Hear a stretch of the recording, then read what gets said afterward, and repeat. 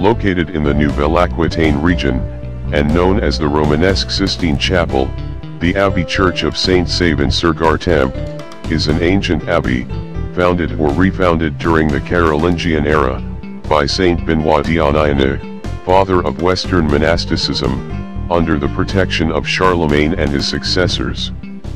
Rebuilt in the 11th century, it bears witness to Western Roman architecture with its well-balanced volumes. Its murals, executed at the end of the 11th or early 12th century, are an exceptional ensemble of medieval imagery. The edifice is mounted by a Gothic spire, of almost 80 meters in height, dating from the 14th century, and reconstructed in the 19th century.